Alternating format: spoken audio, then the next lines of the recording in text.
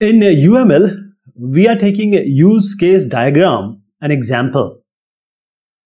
So here is a very uh, simple and everyone has encountered this in their daily life.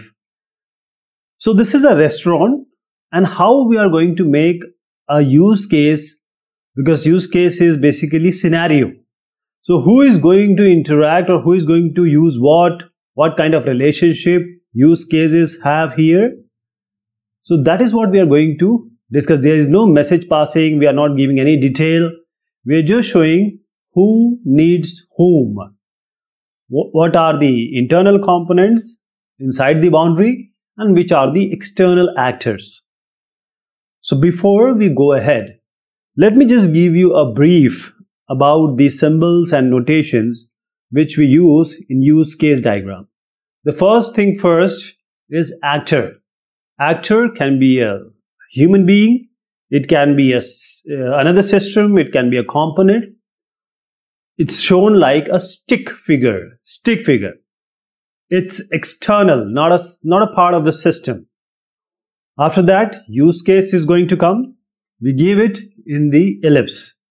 This is use case. So, there are relationship before that, one more thing is generalization. Whenever we link uh, actor with any use case, it will be a simple line with no arrow. No arrow. But when we use include or extend, then we use the direction of the arrow.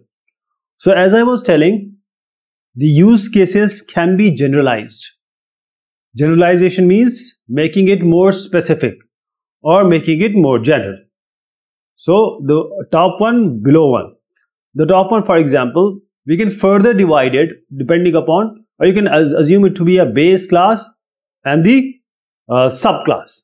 This is how you can think it of. So we can divide an account into say saving account, current account, another account. For a payment, you can divide it into say cash or credit card. This is how we generalize it. So there are two relationship which which we'll see uh, generally in uh, use case diagram. One is extend, one is included. One is extend, one is include. Include means whenever one use case is working, it is going to ask or call.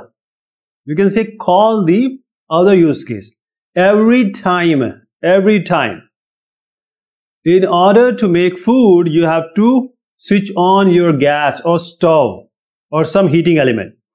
Without heating element or stove or gas, you cannot you cannot make food or oven, microwave oven, whichever is the thing. So this use case will always include that other use case. Will always include. Coming to extend. Now, as I said, that it is always UC2 will be called when UC1 will be called. UC3 will only be called when it is required. When it is required, not every time. UC2 every time, whatever is the case. UC1 runs, UC2 always runs. But UC3 only when UC1 requires it or certain condition which force UC1 to call UC3, otherwise not. Every time it's not called, it's extend. It's extend. So let me take you an example.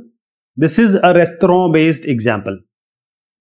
So what is the scenario, use case scenario we can make for a restaurant? There are certain things which we make and we will not make that boundary. As I'm, I'm just saying that the boundary should be made first, logically. But practically, we cannot make it. So first thing what we'll do, we'll make the internal all the use cases and interaction.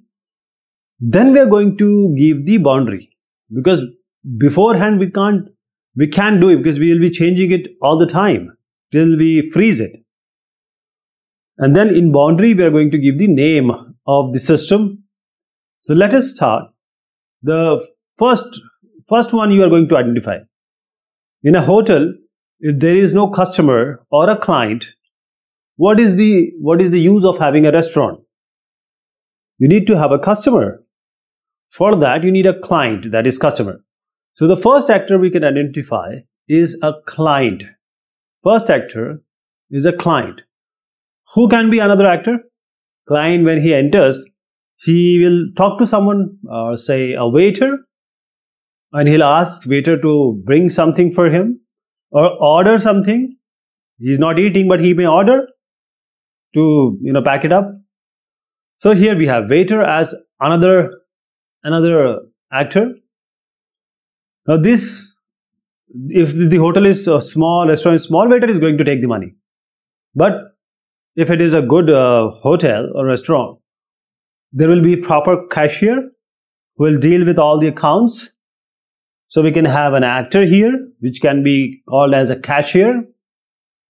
So it depends on your application, the way you are making, uh, what you can identify, identify. So the client will come and what he is going to do firsthand, just take, take a normal example.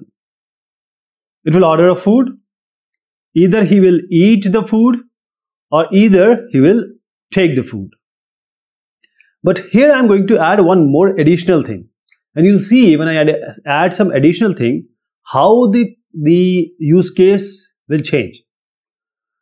So there, these use cases will be changed more, you know, many times. We cannot freeze it one time. Every time you add for one case, you remove one case before freezing it.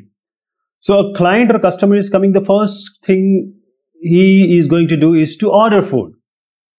Then when he is done, he pay for food.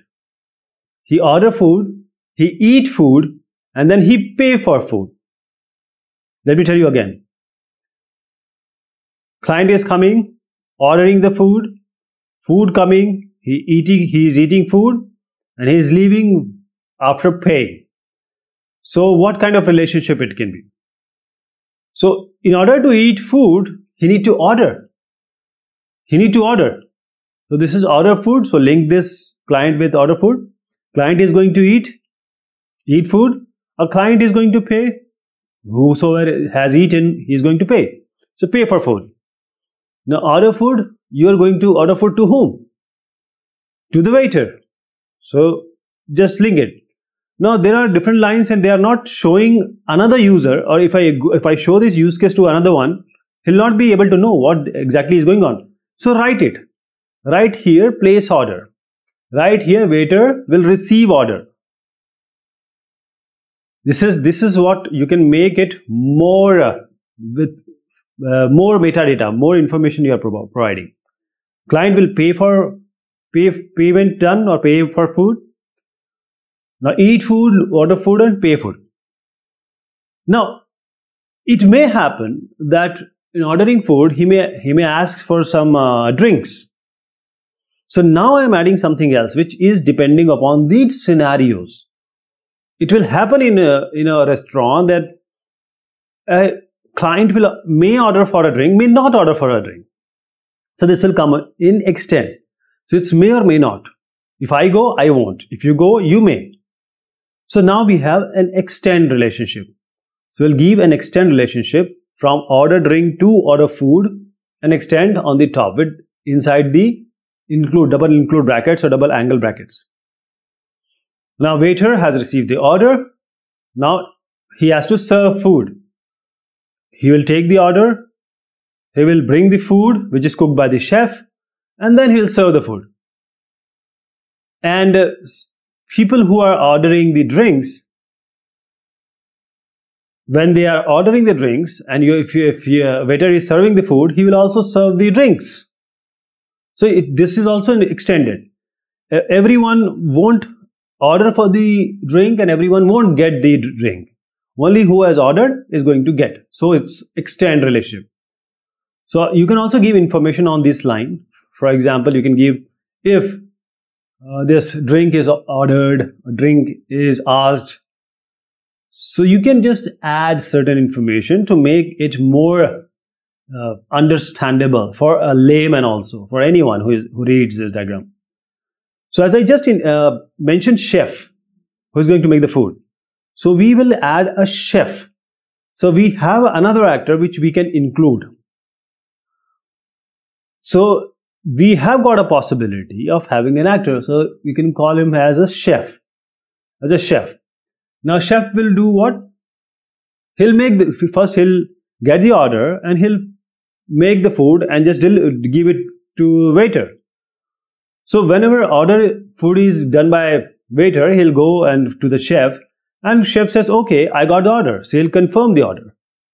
Chef got the order and he confirmed the order. After that, he'll cook the food. So cook food. This is done by whom? This is done by chef. So now chef is related with this cook food. So this is a very this this is just a general way you see something as a human as a, a customer so what uh, extra we can do? Uh, if you are eating food you can also call for uh, some drinks. You have because ordered for drink. So that will again extend. This will again extend. So three extend are there. One two three. And these are all related to ordering some drinks. If you have not ordered, all these three extend will not come here. So they are as and when or on the demand basis it has come. Now for pay for food, the, when the client is paying, the cashier will also do some action. So he will accept the payment. When the client will pay, the cashier is going to accept the payment. Otherwise, he'll say your card is not working or uh, your the cash is less kind of thing now if again we have to take that scenario also if he ordered for drinks he had to pay for that drink also. He paid for the food. Actually you know most of the time the food and drink are included. Some some places the food and uh, beverage part is different different or so they have different uh, bills. That's what so this is a very basic example. I didn't include in uh, didn't include include because this is a very basic example just for your understanding. No, it's not done. Uh, one more thing is remaining. So you always make a boundary. This whatever you have written on the line, it also it needs to be outside this boundary. You cannot have it inside or in between, in between these lines. So this this these are full lines. My my lines are not always straight, so that's why this CO should be outside the boundary, right? This confirm order should be outside the boundary. Let me just have it included it and I, I told you that you cannot have it, you just keep it out. So this is the system boundary. This is your use case scenario for this is system boundary, this is actor, these are use cases, these are the relationship, these are the relationship, and these are some uh, information and this is a restaurant restaurant use case or use case scenario okay? Thank you